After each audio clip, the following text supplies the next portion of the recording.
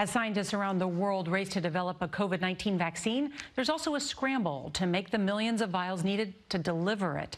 CBS's Weijia Jiang takes us inside an Alabama factory that is going all out to meet a vital need, part of our series, Racing to a Cure. SiO2 Material Science in Auburn, Alabama gave CBS News an exclusive look at how it's tackling a formidable task. Making enough vials for hundreds of millions of doses of a coronavirus vaccine by the end of the year.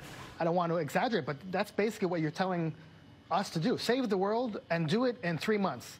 It's part of the government's giant gamble, Operation Warp Speed, to mass produce the most promising vaccine candidates before they're even approved. We will actually procure and be ready to buy uh, much more than just 300 million doses uh, because not every vaccine will make it. Health and Human Services Secretary Alex Azar. Are you worried that you're overpromising too much too soon? Well, we're not making promises, we're setting goals. Fast tracking doses also means ramping up supplies like syringes, needles, and glass vials. The administration has shelled out $5.6 billion so far in contracts with more than a dozen companies.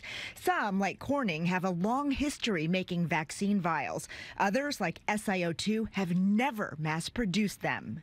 Are there potential hiccups that we don't even know about yet? You want to speed this up as, as fast as possible that it's absolutely a daunting task. Along the way, there will definitely be hiccups. Hiccups that could lead to catastrophe, like production line crashes and raw material shortages.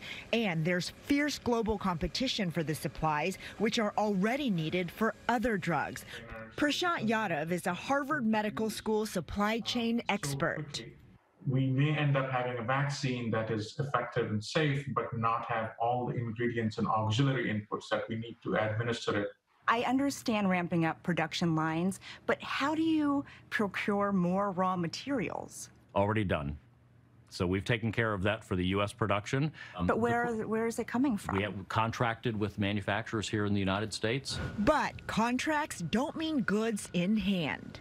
So there is always a a risk that the quantity that you contract for is not the quantity you get. The fastest vaccine for the mumps was developed in four years. The government compares this effort to putting a man on the moon.